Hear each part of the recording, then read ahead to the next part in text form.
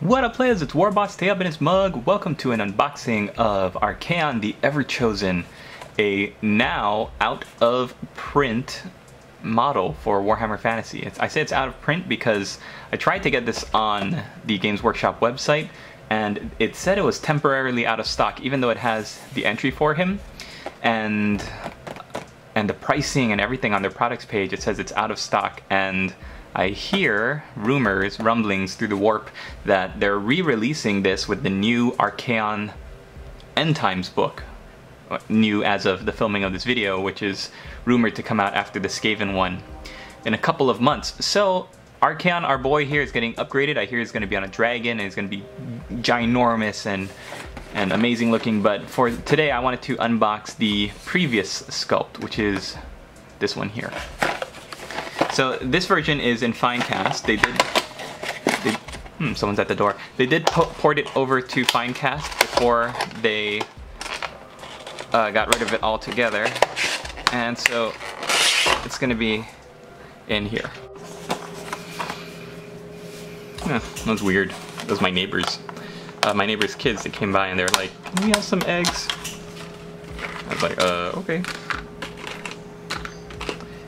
I know, people still do that. Ask for eggs and stuff. Alright, so we've got three sprues, and uh, looks like let's we've got some pieces that broke off here. This is probably the horse's tail. And let's zoom in. There we go.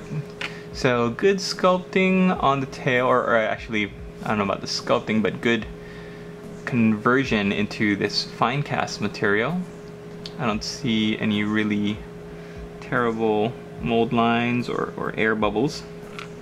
As for the hand, here's the hand It looks like it's holding the reins. Why, I thought, I thought he's holding a shield. Or maybe the shield is goes into the, the bracer. Archaon is known to be on this very decorative base so that's what that looks like. It's got a little, two little um, nubs there, plus an arrow to show where the front is. So I guess when you're building it up, what I'm gonna do is I'm gonna drill two holes and then pop those in so that it looks like that. You've got your upper body here. Oh, look at all this flash. Finecast known for this, all these little flash parts but no really obvious air bubbles. I don't think these are air bubbles, I think these are actually parts of the sculpt because air bubbles are more circular, they're very round, spherical in shape, and those are not. So, plus I don't see any air bubbles. Oh, there. There's a perfect example. There's an air bubble right there that I'm gonna need to fill in with, um, with some green stuff or some modeling putty right there. Uh, but that's no problem, it's in a normally out of the way place anyways. Take a look at the back here. Pretty cool. I mean, it's kind of a shame that they're going to be getting rid of this sculpt completely. Games Workshop, every time they like to do something new, they, they bring in a new sculpt for a model or something, they get rid of the old ones completely. They stop selling them. And uh, that's too bad, because it's a pretty cool looking model. You got some flash here from the talons of the cloak. Some flash over there. So flash is basically just extra resin that's not part of the sculpt that ended up when they were pulling the the model out of the mold or uh, or when they were making the model rather the the resin was it fell into these out of the way places that when they pulled it out it stayed in there. So it's very easy to shave off with a razor hobby knife. Got your horse's body here there's a whole history, Archaon, there's a whole history when they made this guy for the Storm of Chaos campaign in the early 2000s. They had a whole story of who this guy was. He's a fallen uh, Templar, I believe, of the Empire. He went into the library and uh, he was he was looking for the best way to fight chaos, and then he came out all crazy because he learned that uh, chaos is like eternal and everlasting, and you can't fight it, so you might as well join it. And and then he became this big bad guy. I like the musculature on the horse. It's a really great sculpt in the in the neck.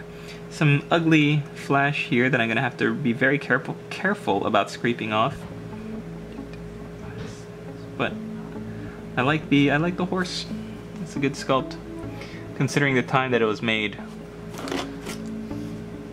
Here's the other side of the horse's body. So it's rearing up, and Archaon's got his sword held out. Very, very cool. And then there's this awesome Chaos Shield. There you go. So that's what he looks like. I'm gonna go build him up and we'll come back and take a look at him all built up. And here's the finished look of our Archaon the Everchosen model in Finecast, all built up and ready for priming. Now, I did want to mention that the horse that I got, and I, am not sure if this is also true with metal models, but in the Finecast, it's kind of a problem there's a very noticeable line down down the middle, and the uh, the horse head too as well, which I'm gonna need to go in with some liquid green stuff and just kind of smooth over. The left arm is very difficult to position because there's no natural groove for the reins to go into the back of the horse's head. If you see there, there's no groove for the back part of the reins to go in, and the front part, there's no slot for it to go in. You just kind of glue it to the bottom of the horse's mouth. So the tricky thing with this is in metal, I guess it's it's okay because the reins, the front of the parts of the reins that connect to the model are going to be that that diameter, that thickness in in metal, so it's it, it wouldn't probably have as much play, but with Finecast, there's a tendency of the resin to warp or get bent sometimes in travel, and sometimes, like you've seen me end up with, like with my incubi, with very bendy blades and weird. Oh, especially my, if you remember my um, the the headsman from the ogres. That that guy has really a, a bendy staff. So the the reins themselves were at a weird position. I had to kind of bend and hold them in place. You couldn't pin them because they're too thin. And so the arm itself, what I had to do was pin the arm, the hand, to the shoulder or the upper arm. Luckily, I think that's why the shield is meant to cover this area because it's a very weird join. So I suspect that in the metal model, it's a weird area to join as well. The base has been glued just like I said it would, and uh, the right arm I pinned it but actually what's going to happen is I am going to do a conversion for a client. This model is for a client of mine who wanted an axe instead of Archaon's sword. So uh, I just wanted to show what it would look like built up the way it's supposed to, the sword pointing forward, the head kind of tilted at a little bit of an angle. It doesn't have to be. I could have placed the head looking to the the left, but with the arm pointing straight forward, I figured the hand the head would follow the hand motion. Um, other than that, I also pinned the hooves to the base. Pinning is a great technique that I'll talk about in in the next podcast episode, but um, it's, it's way better than just using super glue because the surface areas are so small, the contact points are so small, just the bottoms of the hooves to the base. If I were to drop this model, especially if it were metal, the weight of the model being all the way at the top would almost surely snap it off. So uh, by pinning though, or magnetizing, you're able to really get a good join for where the pieces are supposed to go.